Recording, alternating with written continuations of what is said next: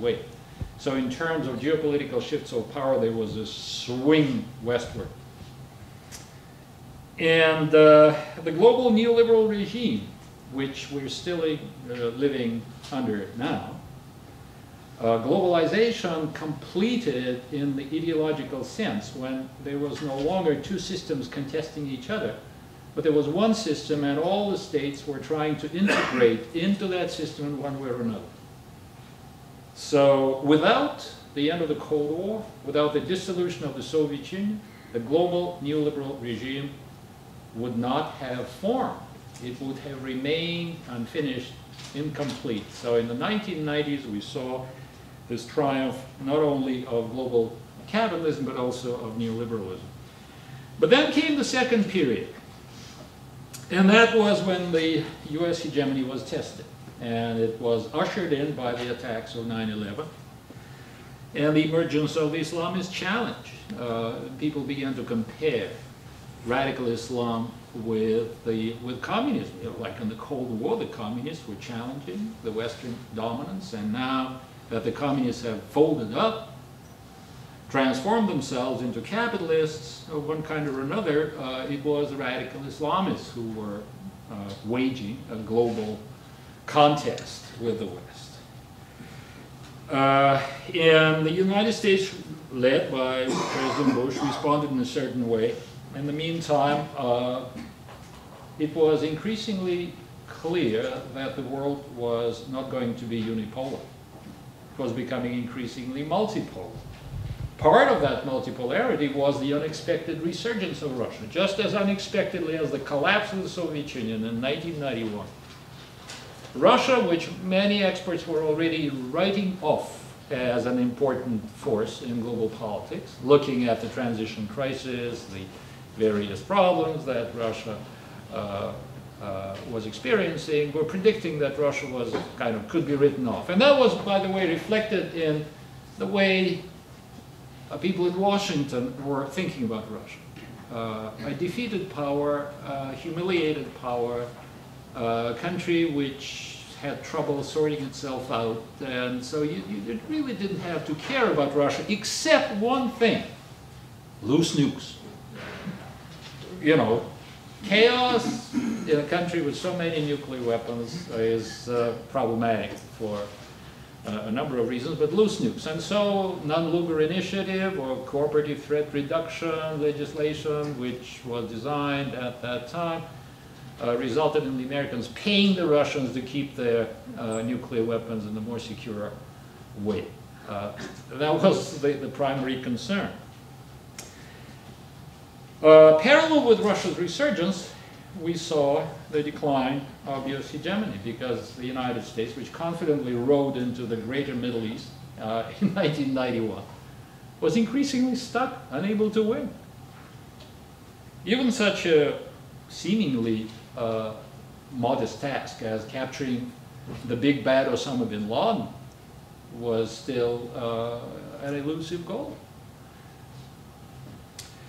And then came the third period, and it was ushered in in 2008 uh, with the, uh, uh, the real dramatic stage of the global financial crisis, which then became a global economic crisis in a wider sense. What are we seeing in this third period? We are seeing creeping bankruptcy and political stalemate in the United States. Remember the mood in 2008 when the Americans elected President Obama with great hopes that with a more enlightened leadership, uh, this country would be able to deal more realistically and effectively with the problems that it faces, as well as the, some of the problems of the world. Uh, in the meantime, in Europe, there was not much uh, to boast about because the European integration project is encountering deepening problems. Europe has not yet seen the worst of it. Europe has not yet sorted out the, the problem in which, uh, which, which, they're encountering and uh, uh, the uh, if, uh, if we compare European problems with the problems of the United States, it's hard to say which problems are worse. Now, with the United States, the problems are worse for all of us because of the continuing dominance of the dollar in the international accounts. Uh, and uh, if the dollar goes belly up, uh, it's really, we, we are going to have uh, very, very uh, troubling developments in the global economy, which will hit everyone. In the meantime, China increasingly, uh, by the way, uh, I remember discussion among China experts uh, in the 1990s. They were saying, yes, China doing well economically, but politically it's still an authoritarian state. So, but looking at the results of the changes in Eastern Europe and Russia, it's very likely that China will follow suit. Capitalism, then democracy, uh, democracy of a liberal kind, so China will not be able, the Communist Party is a thing of the past, uh, it's, it's likely to be overthrown in one way or another, May, maybe give up power voluntarily. Uh, but China continued to rise as communist China, even though it's an open question to what extent you can call it a communist state, but then we call, we, we've called all those states communist states, not because they reached this utopian stage of communism that Marx called for, but uh, because of a simple fact that the parties calling themselves communist parties were in charge of those countries. They controlled them. And China continued, whether it is capitalist or socialist, it is under one-party control, and the biggest, the world's biggest communist party doing pretty well, and not about to relinquish power, if only because it's viewed as an effective uh, government for, for the uh, fastest growing economy in the world. So what a transformation from the earlier uh, uh views of China. Uh, and then another interesting thing that occurred in the third period was uh, a trend toward closer cooperation between Russia and the West. In the previous period, uh, when Russia was resurgent and the United States was, began to experiencing signs of decline, uh, we saw the buildup of tensions between Russia and the United States, Russia and NATO, Russia and European Union. And uh, the interesting thing of the third post-Cold War period is that that trend gave way to the opposite trend, uh, seeking ways to forge stronger links, uh, reaching a higher level of integration between Russia and the West, as part of evolving new responses to the crises which are besetting the world system. Uh, I'd like to remind you a few things about Russia. It's a big country, the world's biggest country. It has uh, as its state symbol uh, something which, uh, until the Turks conquered Constantinople, was on the flags of the Byzantium, uh, of the Eastern Roman Empire.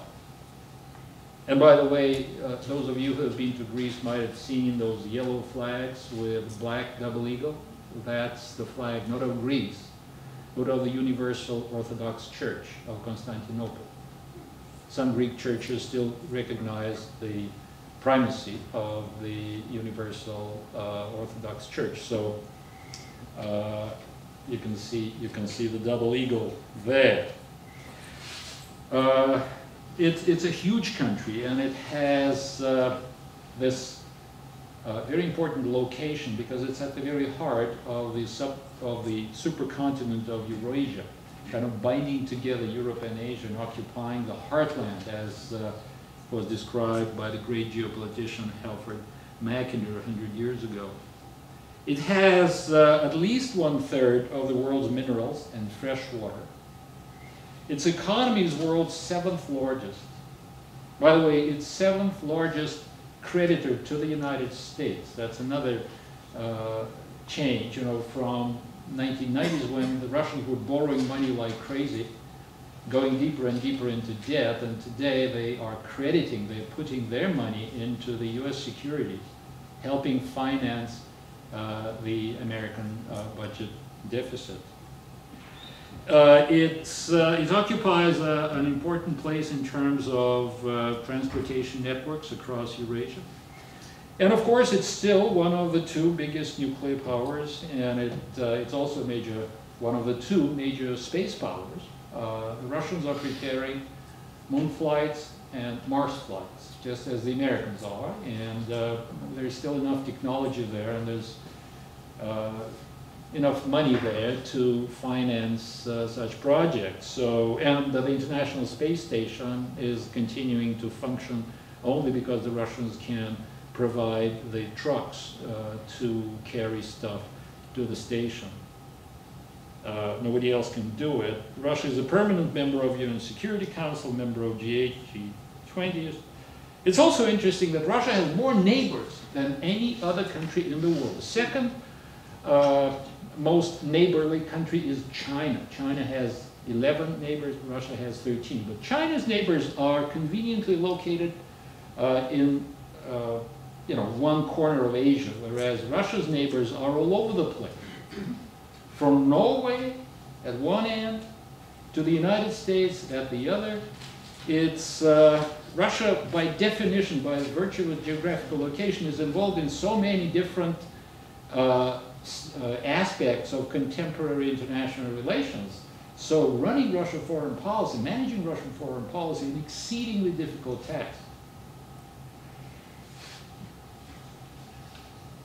Uh, let's look at the Russian economy, compare it with Canadian economy. Uh, so, uh, uh as you can see, the, the real gap is in GDP per capita. So the average Russian is less productive than the average Canadian. So productivity remains an issue in the Russian economy, but, but the rate of growth has been quite, uh, quite impressive. Although on the other hand, if you look at the figure for 2009 when the Russian economy contracted by 7.9% compared to Canada losing 2.5%. That's quite a, quite a contrast. So Russia was growing very rapidly and then as a result of the global financial crisis, it just tanked. But another surprising thing, and uh, the economists learned a few important things about the differences between the way the Russian economy works and say the German economy works was that the rapid recovery, because conventional economic models were predicting that having lost 7.9% in, in 09, the Russians were likely to be sluggish for a few years before they'll regain economic growth. Yet in the following year, the economy grew by 4%, and then last year by 4.3%. So uh, uh, it's, uh, it's kind of wild swings. Uh, in recent years, uh, people began to talk about Russia's resurgence. Resurgence. And if you compare what Russia was like in the 1990s, when it lost half its economy, when it was falling deeper and deeper into debt, when capital was flowing out of Russia, privatization of state property uh, was followed by the money leaving Russia rather than being invested in Russia. So tremendous capital flight, also tremendous, brain drain. An estimated half a million scientists and scholars have left Russia in the past 20 years. That's an enormous, over the period of the Soviet Union, the, the, the, the, the Russians, the Soviets had, had built a, a, a very impressive uh, capacity in science, technology, and education. And uh, as a result of the crisis of transition, uh, a very large part of that potential was uh, at least partially lost to Russia. And uh, that, of course, has long-term consequences for the future of the Russian economy. The new state which emerged following the collapse of the Soviet Union, while putatively democratic and recognized as kind of getting there, becoming democratic by the West, was actually a, a very poorly organized state, a, st a, virtual state in many ways, uh, with characteristics of feudalism, chaos. Uh, the, the, democratic facade was more of a facade than the substance of, of how Russia was, was governed. And there was uh, a real possibility in the late 1990s that Russia might actually follow the way of the Soviet Union. The Soviet Union broke up into 15 independent states, so now Russia, because of all those crises, was likely, or could, could break up into, into pieces. And in fact, one part of Russia, the Republic of Chechnya, proclaimed independence. And when the Russians tried to compel the Chechens to return to the fold and send the forces to Chechnya in December 94, uh, it resulted in a failure. So the powerful nuclear uh, armed state failed to subdue uh, a very, very small armed insurgency in one of the regions of, of, of, of the Russian Federation. In fact, uh, it is interesting to recall that as late as 2000, the year 2000, 2001, experts in the United States, in places such as RAND corporations, were discussing possibilities. They were talking about scenarios, and they were looking at the possibility that Russia would break up. And there were people who were writing papers on the topic of the modalities of stationing American troops in the territory of the Russian Federation if central control uh, breaks down and there is a civil war.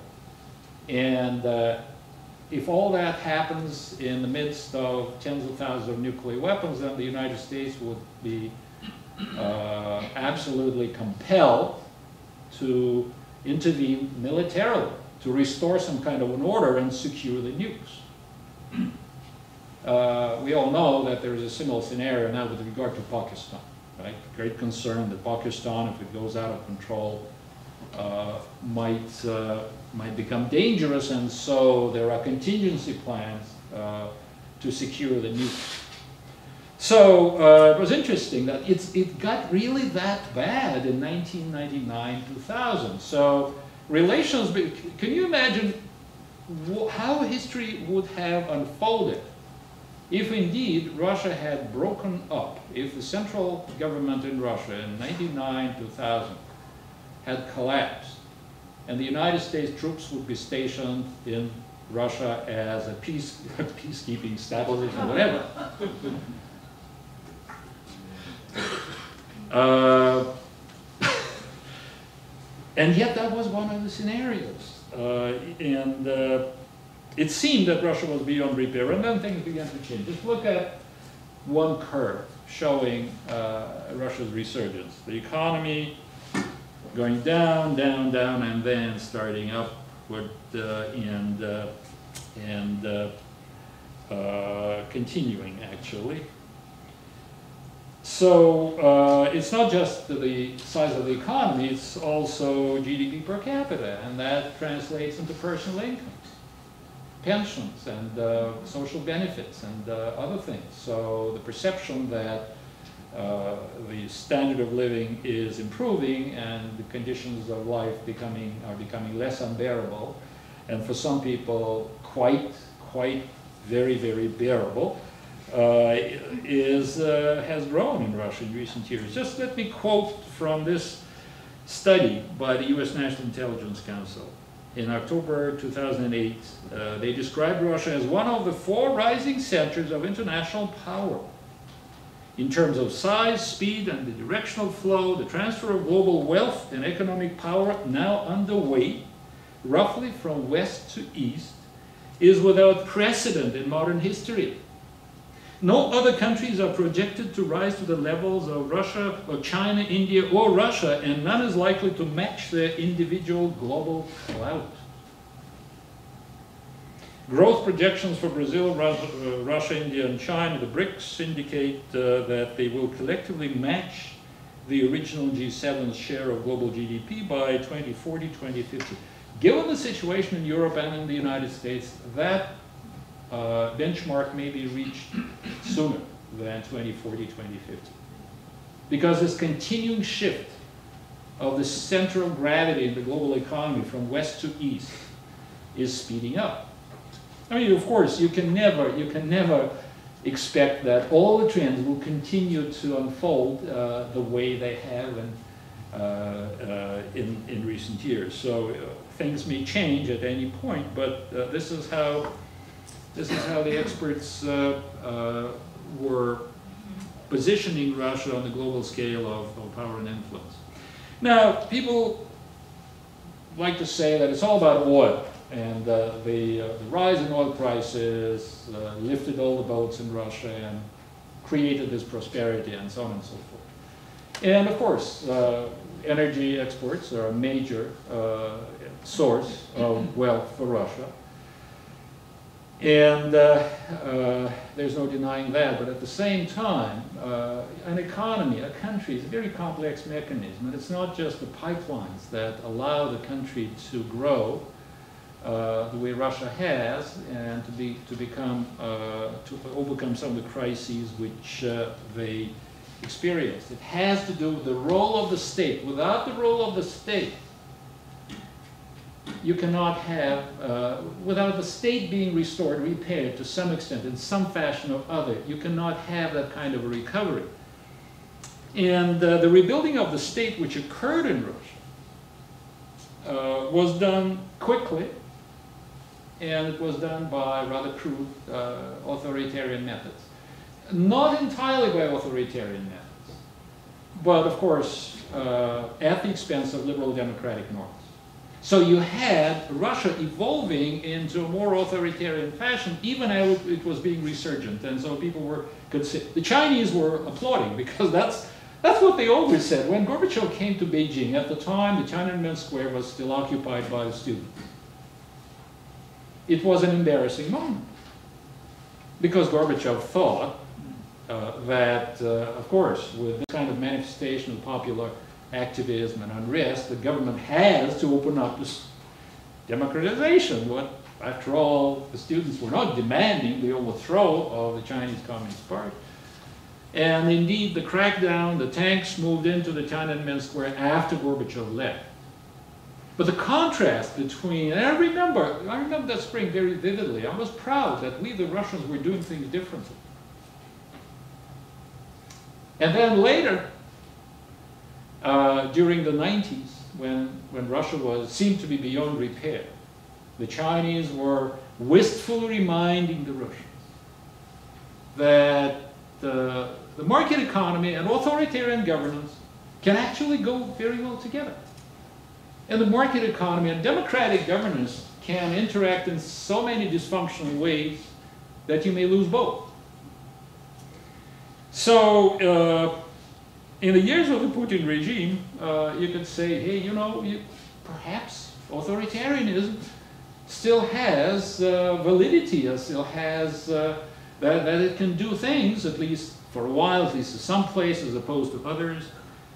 Let's face it, the Putin regime has consolidated Russian capitalism, which was, by the way, in real danger of being overthrown at the end of the Yeltsin term in office.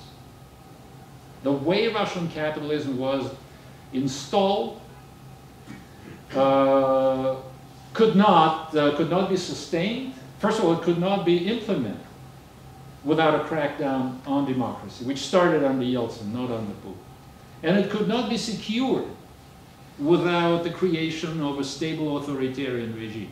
So Putin and the Russian authoritarianism is the price that the Russians continue to pay for a rapid transition to capitalism, and uh, capitalism of a particular kind.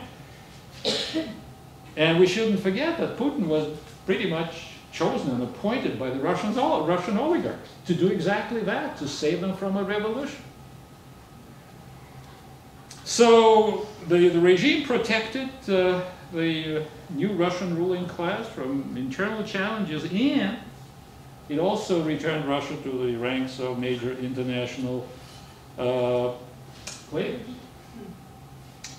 Yeah, uh, George Bush, by the way, admired Putin.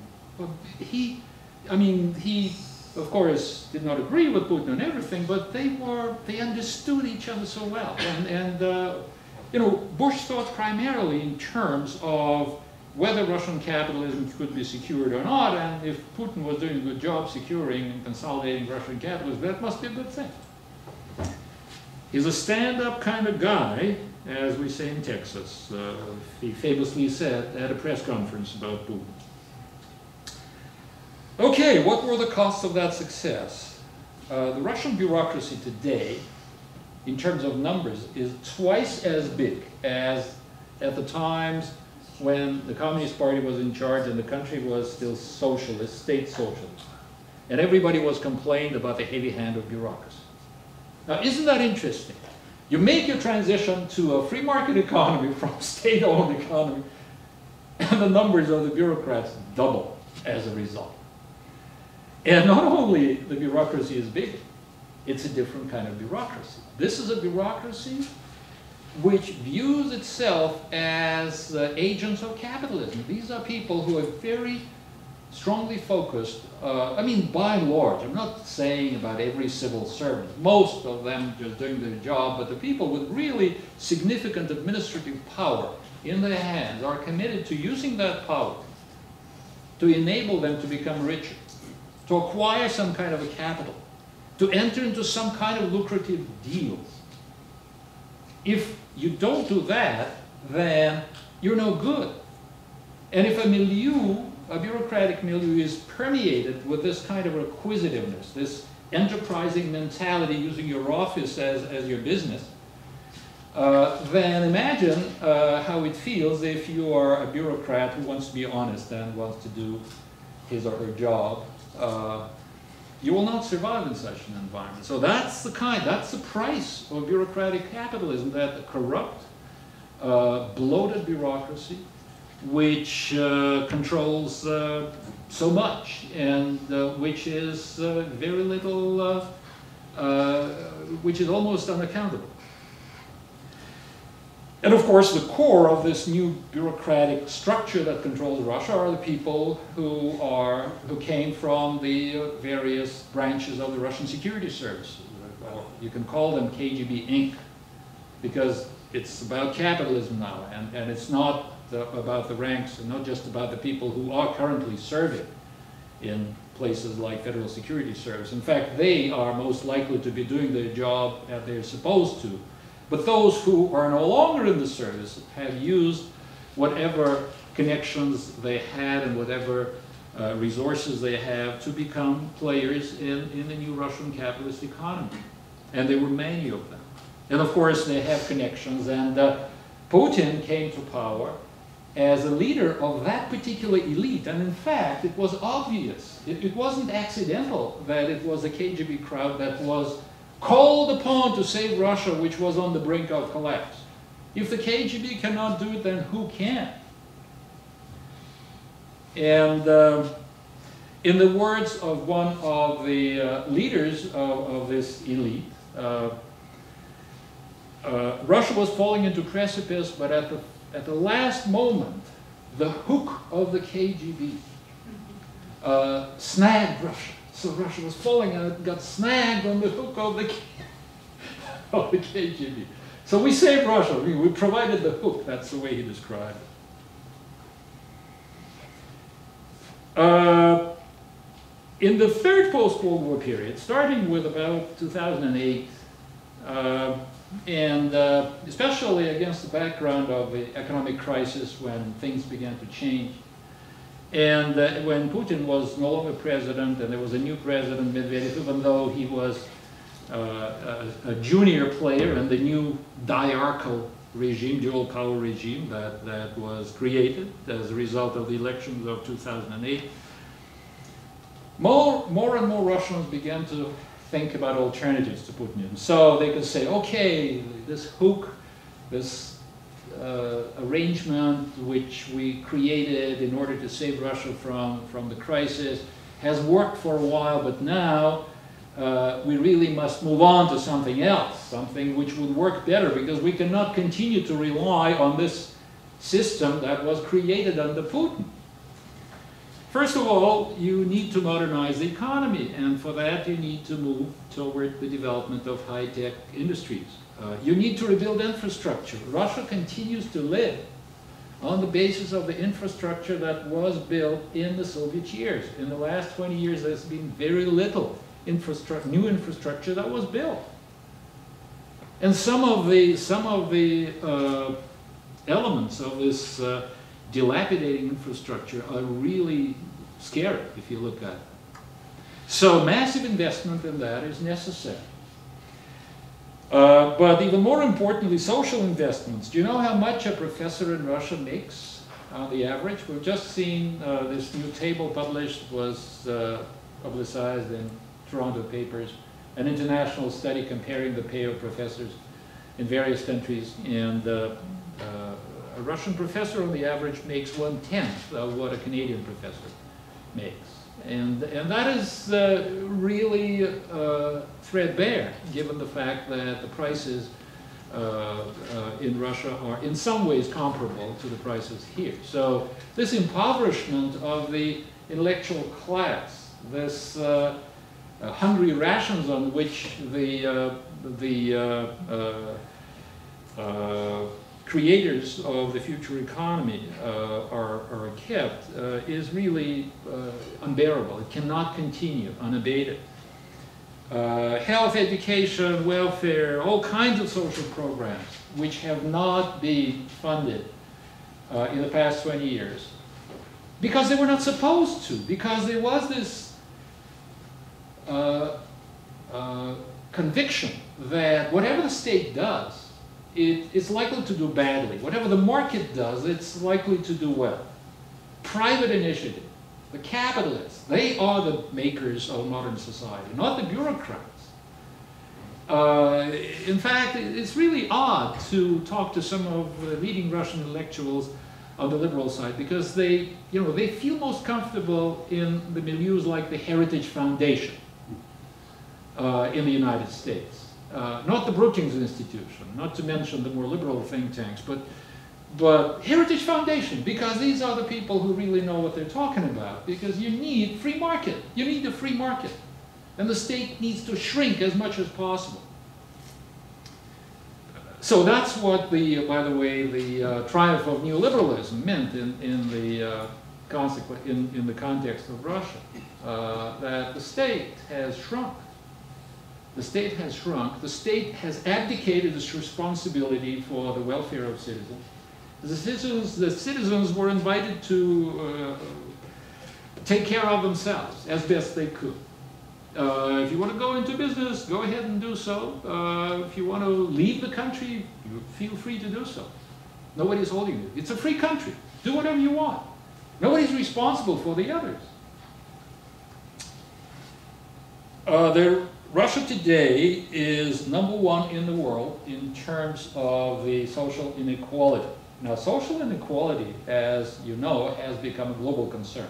Increasingly, we see the recognition of this fact that the distribution of wealth on the global scale on this planet has never been as unequal as it is today. This is really unprecedented. Never before have we seen such a maldistribution of wealth. Well, against that background, Russia is the least equitable country. And it jumped to this situation, to this, you know, place of pride of being number one. Uh, Brazil is number two. Uh, it jumped from being one of the more egali most egalitarian countries. So stories about the privileges of Soviet bureaucrats under socialism oh my goodness, these people, they have so much, and, and, and, and the common people, the workers, you know, they earn, I mean, this is really incomparable. The nomenclatura privileges in the Soviet Union and the privileges, uh, the, the enormous wealth controlled by the Russia's, Russian new oligarchs are just incomparable.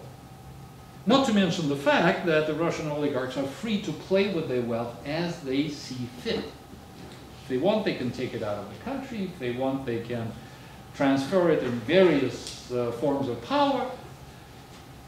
Uh, nomenclatura did not have such uh, such freedom. They were not free. One of the reasons why they supported neoliberalism was because to them it meant freedom. Freedom to utilize their power and turn it into wealth. So Russia is facing a huge challenge, redistribution of wealth. By the way, have you seen the uh, results of the most recent Environics poll in Canada concerning inequality and distribution of wealth? It's very interesting that contrary to what we hear from our government and uh, the conservative intellectuals in this country, the majority of Canadians not only are concerned about, about growing inequality, but they are in support of raising the taxes on the rich and raising the taxes in general in order to fund the various programs that the government uh, should be responsible for.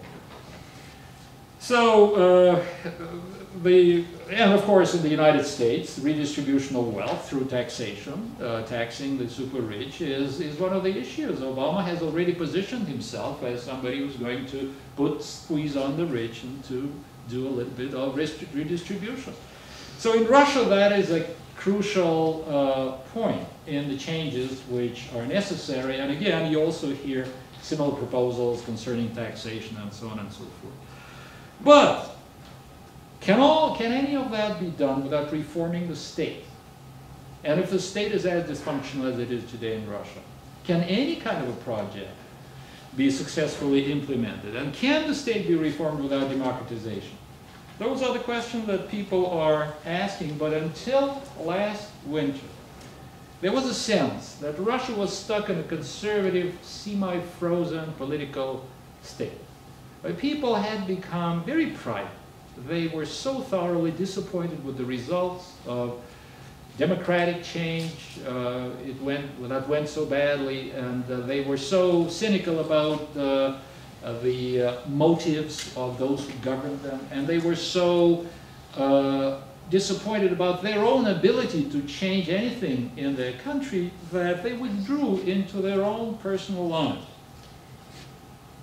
And then came December of 2011, the winter of Russian discontent, which has shaken the Russian state, the Russian ruling class, the Russian society. It did not result in the defeat of Mr. Putin in his bid to become president for the third term.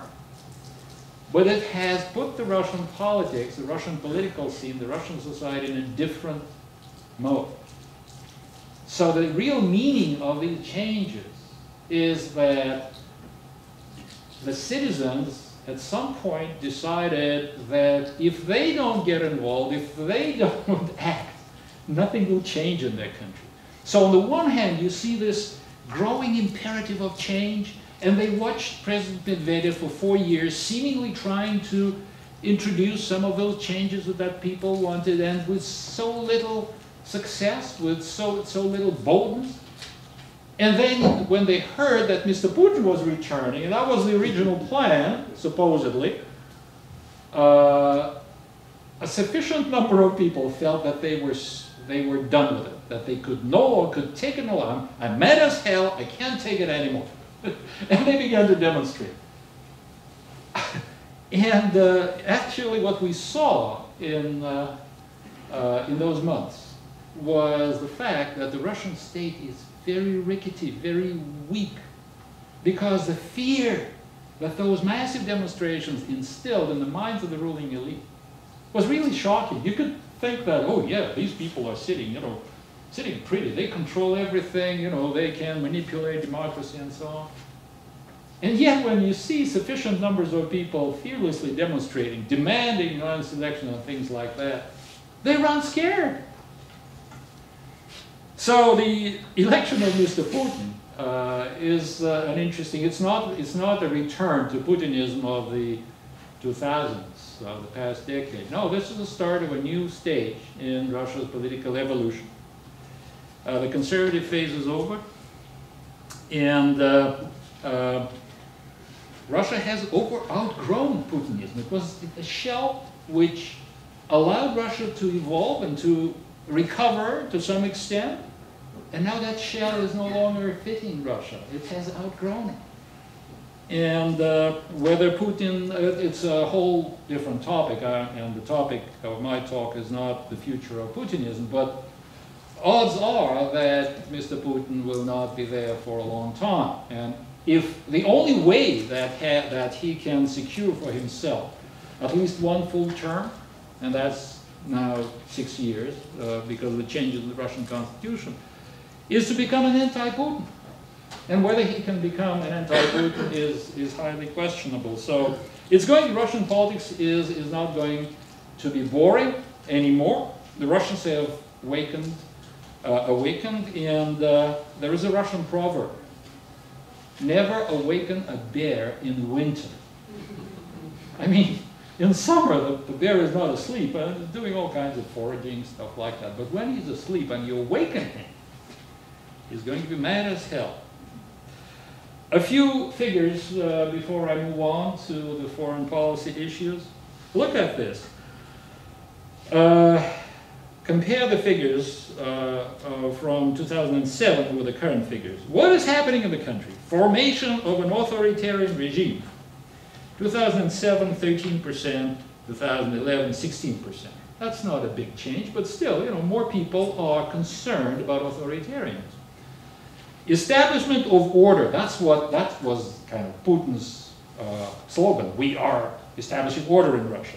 42% uh, four years ago thought that order is being established. Now you have drastic decline in those numbers, 29%. Growing disorder and chaos. Now you hear, you, you can see this jump from 14 to 26%. Concern that Russia is going to lose whatever semblance of order it had gained.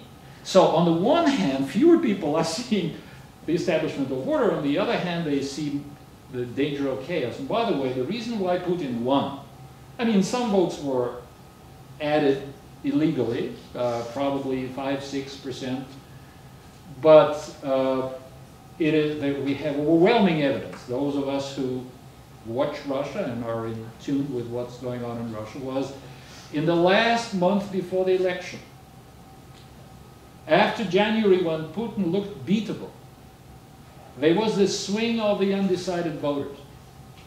About 15, 20% of people who were kind of tired of Putin and were looking with interest at the protesters and the opposition forces. And the more they looked, the less convinced they were that if they overthrow Putin and give the country to this diverse motley group of loud politicians that they might have another period maybe worse than what they had in the 1990s. And, and so they were saying, you know, for a while, uh, let Putin stay, but we'll kind of keep an eye on him. So now he will not be able to, he will have to uh, listen to what the people want to a greater degree than before, so it'll be a different Putin and so on and so forth. It's that swing vote. It's the undecided that decided the results of the election. So the opposition, if the opposition had been more credible, I mean, they already did unexpectedly much by, by shattering this shell called Putinism.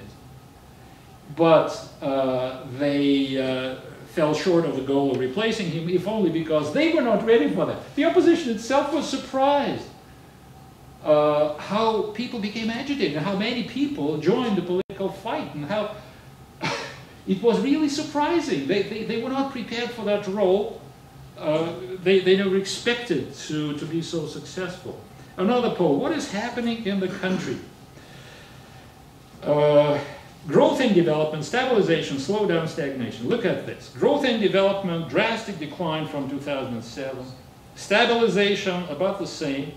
Slowdown, stagnation, drastic increase. So, you can easily see the shift of public opinion from perception that the country is growing, and that was very much the perception from the last decade, to the perception that the country is stagnating, it's stuck, it needs change, it needs to wake up.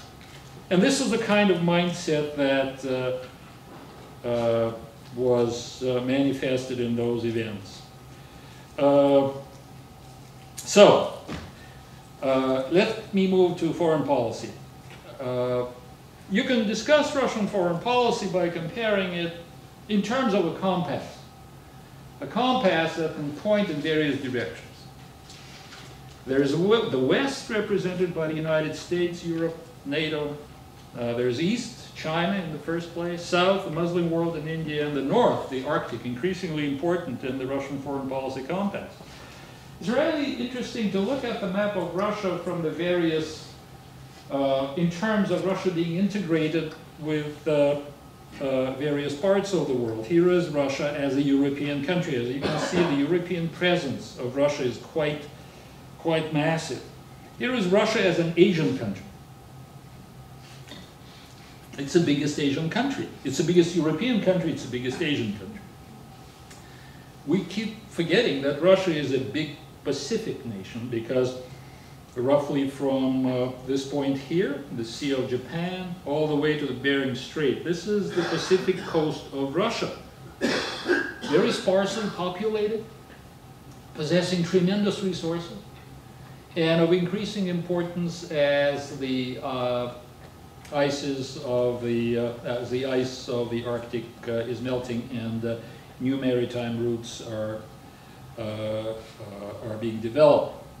So it's a Pacific nation, it's a major Pacific nation. It's also a major Arctic nation because it has more of the Arctic shoreline than any other country. Canada is number two in that regard. Uh, if you look at the political faces of Russia, uh, it's also interesting how diverse it is. Now, the medieval setup of the Kremlin is well known. It is a fortress. This is the center of Russia. This is Moscow, uh, meant to be the third Rome in the uh, words of the clerics of the 16th century. Uh, this is St. Petersburg.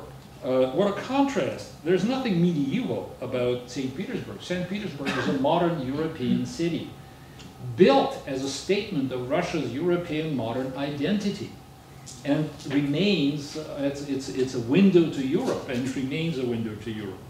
But look at the third capital of Russia. Now, Russia has three capitals. I mean, it has one capital officially, but two other cities uh, are allowed to call themselves capitals of Russia, and they are St. Petersburg and Kazan.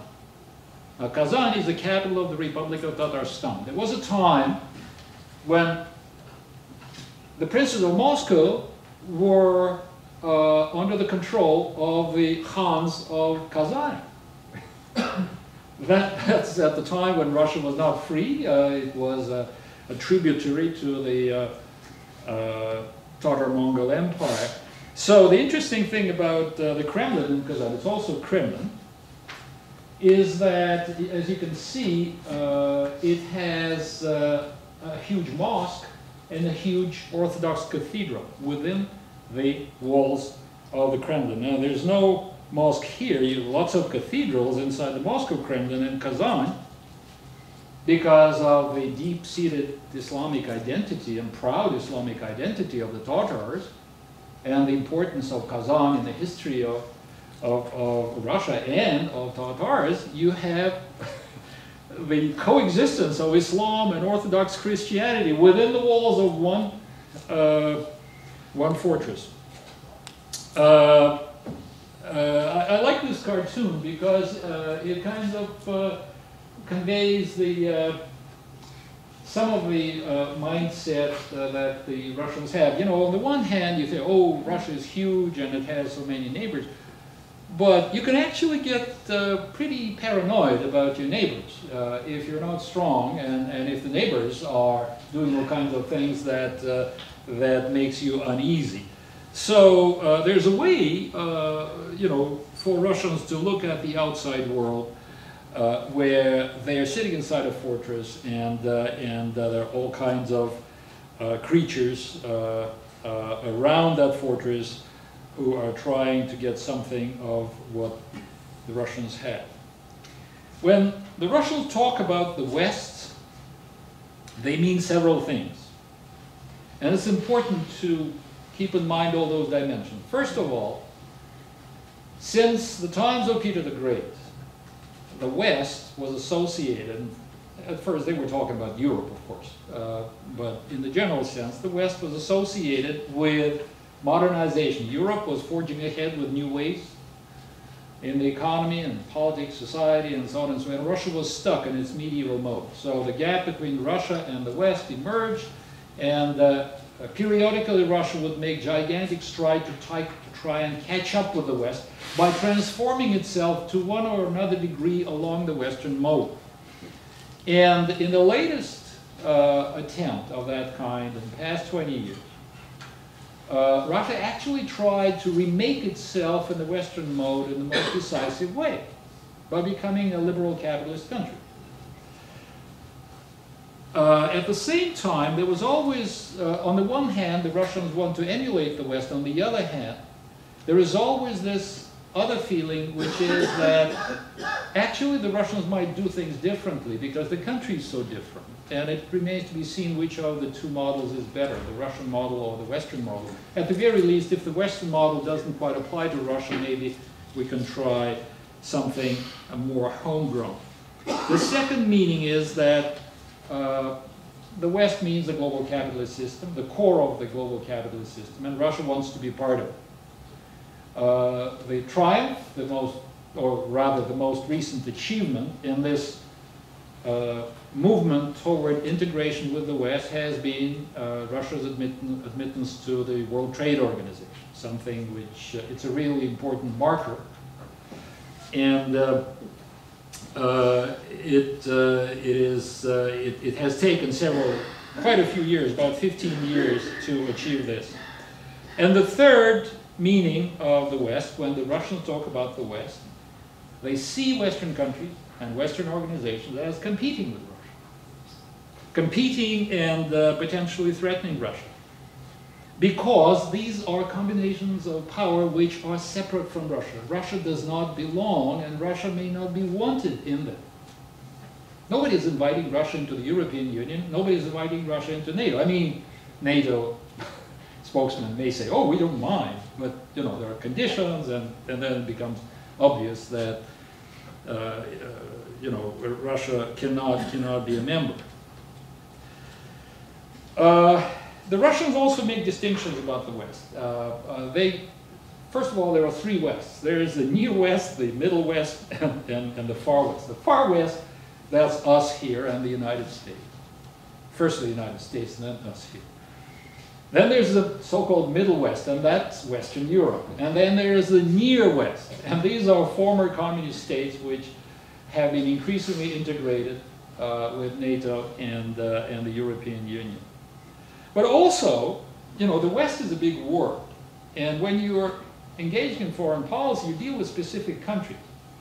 So uh, it was a very important direction of Russian foreign policy with regard to the West that uh, you deal with individual countries, and it's in bilateral relations with countries like Germany, France, Italy, that uh, the Russians have achieved the most important uh, goals. In fact, they've been more successful in engaging on the individual basis than uh, with organizations such as NATO and the European Union. So, given the fact that there is this compass and uh, there is uh, determination of the Russians to maintain a balance between their engagements in the West and the East and the North and the South, still the West remains the most important uh, uh direction of Russian foreign policy. There's no desire to confront the West, there is continuing desire to join the West, to integrate with the West. Uh, but at the same time, and especially in the past uh, 12, 13 years, increasing insistence that the terms of Russian engagement with the West must be more in line with Russian national interests. And uh, this insistence on national interests uh, has, of course, been uh, a source of frictions between uh, Russia and Western countries. Another source of friction is that Russia claims to have special interests in the post-Soviet space. Uh, it's absolutely uh, pointless to talk about a restoration of the Soviet Union. It's not going to happen. Or the Russian Empire. It's not going to happen. But some form of reintegration of countries which used to be uh, independent states, which used to be republics of the Soviet Union, is likely to happen. And we shouldn't be particularly concerned about that. Those who are saying, oh, well, you know, the Russians are conquering you know, the, uh, this space again. Uh, for instance, when the West leaves Afghanistan, Central Asia might become an arena of uh, tremendously violent struggles for power. Central Asian states are not strong. Central Asian states need to be strengthened. The West cannot do so. Central Asian states can be secured and strengthened, their, their modernization and development can be fostered if there is a cooperative engagement of other countries. And the countries which are in a natural way best situated to stabilize and strengthen these states are Russia and China. So in fact, in the post-Soviet space, what is more likely to emerge is not the restoration of the Russian Empire, but rather uh, a kind of a dual, uh, uh, it's not a dominion, uh, the, uh, at any rate, Russia and China are already cooperating uh, in, uh, competing and cooperating. Again, looking at it from the West, uh, there is a tendency to see only competition. You know, it's, I'm really, I've taken part in countless discussions on Russia-Chinese relations. All, and it always strikes me that there is a tendency among Western experts to look at what divides Russia and China, completely forgetting that the things that actually put them together are much more important. And the fact that, that they have differences and the fact that they compete does not overshadow the fact that they work together on most issues.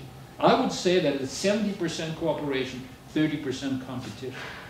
But what I'm saying is that uh, the uh, claim for special interests uh, can be made uh, in speeches and sometimes as good campaign rhetoric. But the fact is that we're dealing with a new reality. 15 independent states, uh, three of them, by the way, the Baltic states, are already members of NATO and the European Union. So they are not going to be reconquered by the Ukraine is not going to give up its uh, independence, but Ukraine is keen on maintaining a very close partnership with Russia, if only because that's where the money is, for Central Asia as well. If you think Canada is prepared to invest big money, or the United States, big money into the rebuilding of the machine tool industry in Uzbekistan, think again. The Russians do have the money. And it's the private sector that has that money. And they're keen on doing that, provided they have certain incentives. So, uh, if there is a restoration of the Russian sphere of influence in the post-Soviet space, the main drivers are not military, they're not political, they're economic. That is the most important thing. There is, you know, uh, there's no ideology in Russian foreign policy, and that's perhaps one of the strongest points of it. Uh, it's entirely pragmatic, to the point of being cynical. It's driven by very simple considerations of national interest, which is permeated with the considerations of trade and investment. Also security, of course, because that's uh, what is a requirement if you are in charge of Russian foreign policy. So, uh, I've, uh, I think uh, I've kind of tested your uh, attention for much too long. Uh, so I, I, would like to wrap it up by observing that relations between Russia and the West have become closer than at any time uh, in the history of Russia. Russia is more closely integrated with the West today than it has ever been. And uh, when you have, and you know, only 20 years ago, those were two competing systems, Russia, the Soviet Union, and the West. So when you see such a shift, inevitably it creates frictions because the two sides have never been so closely together. So part of the frictions and the differences and the flare-ups of uh, uh, uh, conflict when we say, oh, another Cold War is coming. It's part of this accommodation which is going on. It's, a, it's going to be a longer process. That's one thing. The other thing is, we have to be realistic, is that the world is a highly competitive place. There is competition for influence, for markets, for access to energy, for prices. Do you know how the Russians and Chinese haggle over prices of things like oil and gas? They're building pipelines. The Chinese are financing big projects to have it, but, but they can, for years, they can haggle over the price. And it's all out in the open. And then they embrace themselves and make a deal.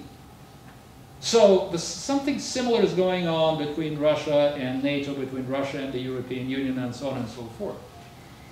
So there are real differences between national interests. There is competition. There, there, there will be uh, heated debates. Uh, uh, I observed very closely how the two ambassadors at the United Nations Security Council uh, interact. I'm talking about uh, Ambassador Churkin of uh, the Russian Federation and Ambassador Rice of the United States. And, uh, you know, they've been sparring over the issue of Syria uh, for weeks, if not months.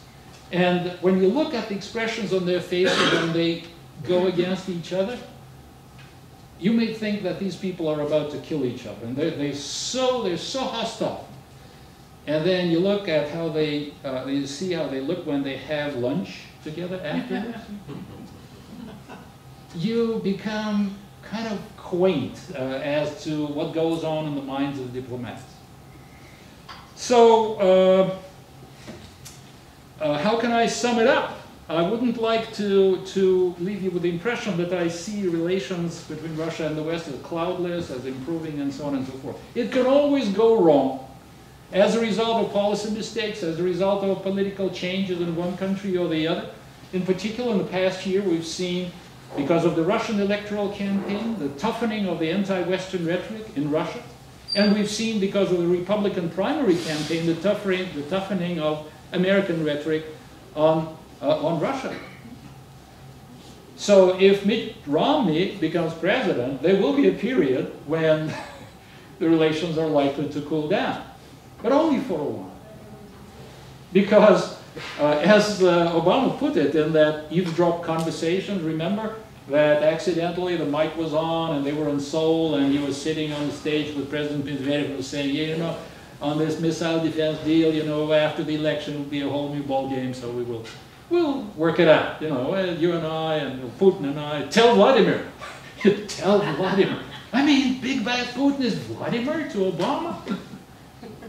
Who are they deceiving? I mean, so it you know, there's a politics is theater. There's we sometimes uh, confuse the show for what's really going on behind stages behind the stage uh, or behind the curtains. And uh, uh, so it, it, can go bad. Uh, this is a dangerous world and uh, unstable world. We, and we, we are not properly equipped to deal with the challenges that we collectively face.